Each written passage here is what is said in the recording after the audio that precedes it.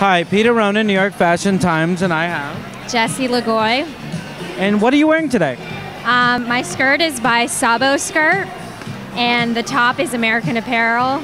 The necklace is H&M, shoes are Zara, bag is Marc Jacobs. Okay. And what, what show did you just come out of? I just came out of Joanna Mastroianni. I really enjoyed the show. Yeah. What, what, what, what's your take on the show? Um, I thought it was very powerful and it made me proud to be a woman. I don't know, it was just so sexy and um, even the song choices they chose, it's very empowering. Which piece grabbed you? Um, I would say the la- the uh, orange gown, beaded gown. At the end. Yes, and the girl knew how to play it. I really like the yellow one too. Remember Yes. the yellow one before? Yeah. Yes. Yeah, both of them had really good models walking them. Yeah. So I think that made a big difference. Yes. Any other shows you're looking forward to this week? Um, this was actually my last show. Oh no, I'm coming back on Wednesday for Clover Canyon. Oh, okay. Yeah. Okay.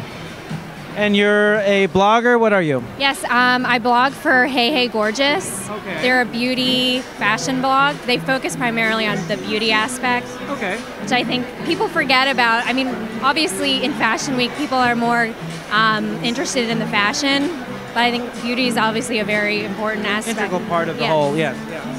So um, Twitter, Instagram. How do we find your blog or you? On Um, we're at yeah. Uh, our Instagram is at Hey Hey Gorgeous, and same for Twitter. Hey Hey Gorgeous. well, thanks so much for joining us. Thank you. Thanks for watching New York Fashion Times.